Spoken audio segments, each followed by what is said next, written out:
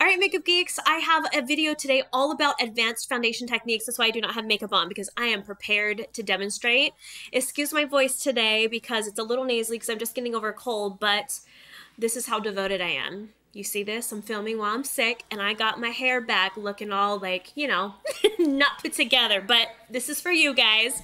So I wanted to just show you some advanced techniques, and um, some of them you may know, some you may not. I just wanted to give various options for yourself, or if you're working on other clients, of how to treat the skin and how to use a variety of techniques and different types of foundations. So let's start first with how you're going to prime your face. So the first thing you want to do is assess it and decide are you combination skin where you aren't quite oily or dry, you're just like normal skin, or do you tend to be more oily or dry and that's going to dictate what kind of base you're going to put on first before you do your foundation. So first off, if you have dry skin, which I often do, you want to use a light oil primer. This is going to add moisture to the skin so the foundation doesn't look flat and really dry and cakey. So I love using hemp oil, but you can use any type of oil that's safe for the face. Just don't use a coconut oil, it'll clog your pores. Um, if you have combination skin, you can use a serum or you can use a cream. My favorite one that I like to use is the Bobbi Brown Vitamin Enriched Face Base. It's just a cream formula that's great for combination skin. It's really lightweight, but it'll add a little bit of moisture and it'll create a barrier between your skin and the foundation to help it just look smoother.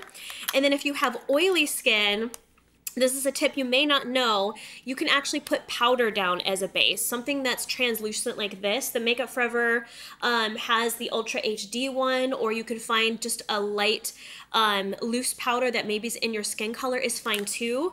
But what you can do if you have oily skin is you can just take a beauty blender and you can put it on the um, T-zone or wherever you get oily first, and then apply your foundation and it won't look cakey as long as you're just doing a light layer of it and it's just to mattify the skin. Do you see how I don't look shiny anymore? So it's to help a lot for that. So putting the correct base on is absolutely key. Tip um, number two outside of the base is you always have to look at your face as it's not all equal. I know that's hard to accept, you guys. Hold on, let's take a sip of coffee to accept that. The reality is, is the whole map of your face is not equal. So some parts of your face may be oily, some may be dry, some may be more sensitive, some may be just fine. So you have to customize your foundation for the parts of your face. So for example, for me, my forehead gets really, really dry. So I have to put an oil primer on my forehead, but I tend to get a little oily in the T-zone right here. So that's why I put a little bit of the powder down first. So you have to always consider what parts of your face are going to um, be dry, oily, or maybe be acne prone. That'll come into play too. So I'm gonna take a beauty blender again, take some oil, or actually, you know what? Let's take a brush like this, a Dome foundation brush, and I'm gonna prep my forehead because it's dry.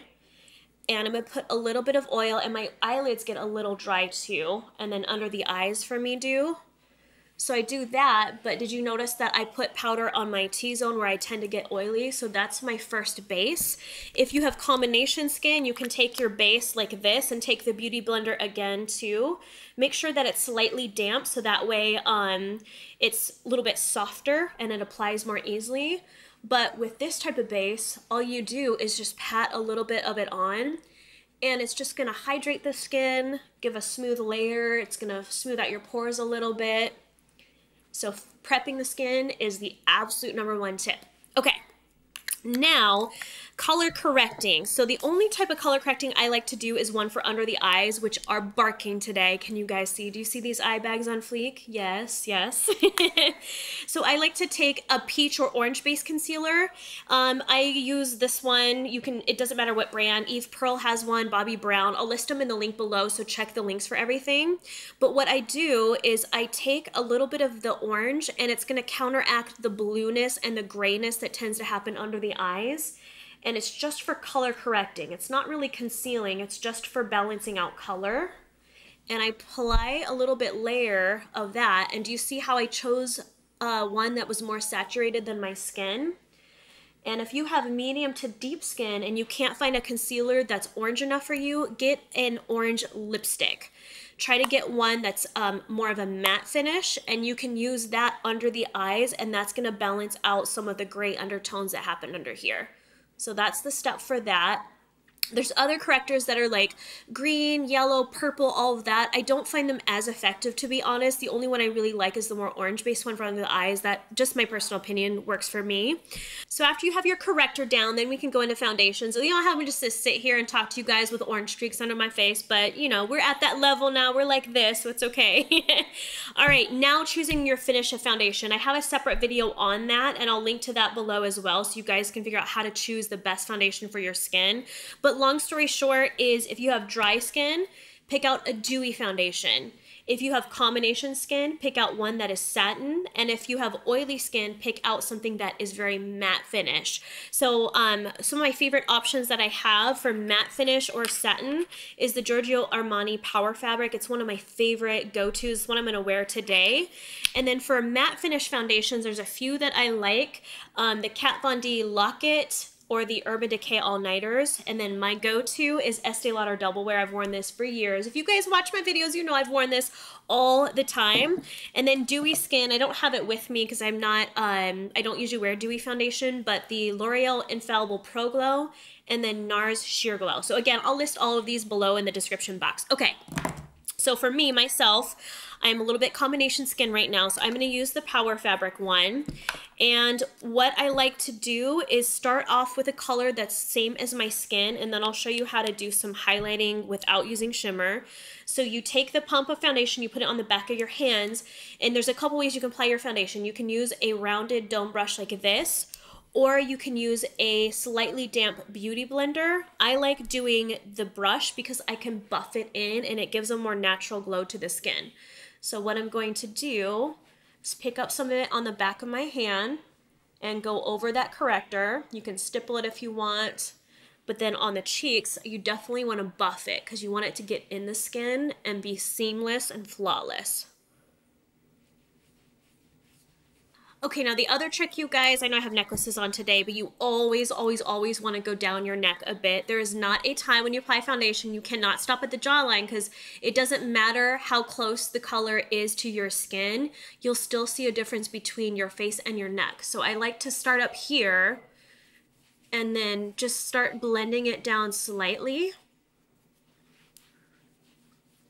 And then don't forget your ears, especially if you're wearing your hair up. I know this sounds crazy to put foundation on your ears, but your ears can look a different color too. So you just put a little bit on there and then kind of buff a little bit in the um, hairline without getting it in your hair.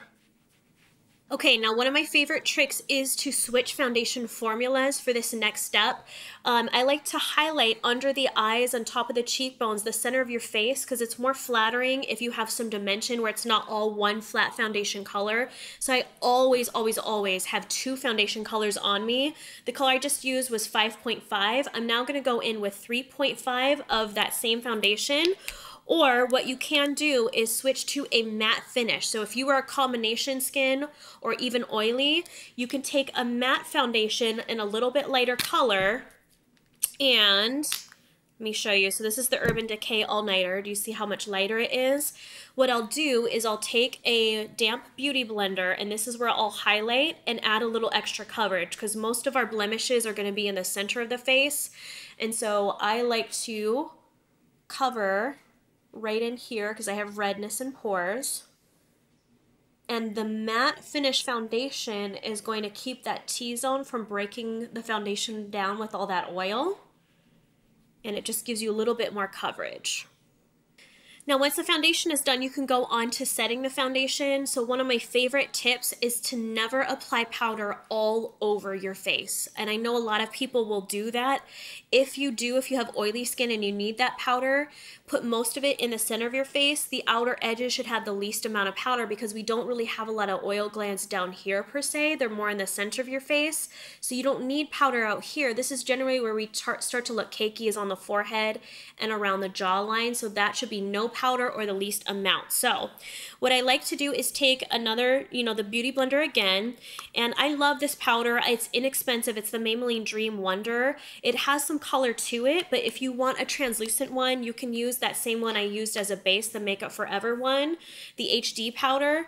If you are getting photos done though, don't get a HD powder like this or something that has silica in it because it will bounce back and it'll cause your face to have like a really white um, ashy tone to it. So I prefer using something with just a little bit of pigmentation to it. So that's why I like the Maybelline one. But what I'm gonna do is I just literally press it into the skin. I don't like using brushes to apply my powder because what happens, we all have this big brush you guys have, I know you have this brush in your set somewhere, a big ass brush like this, and everyone's like swirling it, and we're baking and we're doing all this stuff, we're cooking in the kitchen. I don't like using brushes for putting powder on because the bristles themselves, they're gonna start picking up a little bit of that foundation and it's gonna cause an uneven finish to the skin. So I like pressing it in with a soft sponge because I feel like it's soaking in that oil it's setting the foundation, but it's not scratching the surface and disturbing um, the flawless foundation that you just spent a long time applying. Make sure to put a little bit of powder here on the eyelids because they do get oily. And this will be a good primer for your eyeshadow as well. So that is the foundation steps. I won't get into contouring and highlighting all that. That's for another video. I just wanted to give you guys ideas of how to custom mix your foundation. So if there's anything you get from this video, primer is the key to getting a smooth finish and make sure that your skin is extra clean, it's very hydrated, drink lots of water, and then always, always, always have a couple foundations on hand, whether it be two different colors or two different finishes. Again, I love having a matte finish foundation and a dewy or a satin one and just making sure that you your face is not equal that the oily part is generally in the center of your face. So treat it differently with how you moisturize, how you prime, what kind of foundations you put on the different parts of your face. It's not just a one foundation all over is not always the option to work. That's again, if you have the time and you want to do advanced foundation, obviously if you're in a hurry, we ain't got time to do like a 10 step foundation. You're going to buff that shiznit on, you're going to put your powder on, you're going to run out the door and go to work drinking your coffee in your hand. I know how it goes, but Hopefully this gives you some ideas with some different foundation techniques that you can use on yourself or other people. So don't forget to click on the links below for all the products I used. And don't forget to subscribe to my channel and check out other videos right here. So thanks you guys for watching. I'll talk to you soon. Bye.